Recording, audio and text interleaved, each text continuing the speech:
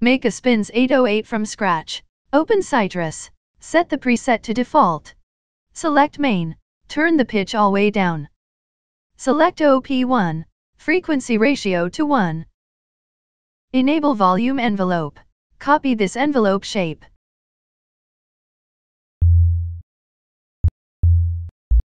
Set the SH to 8%. TN to 10%. SN to 23%. Go to pitch, and copy this envelope shape.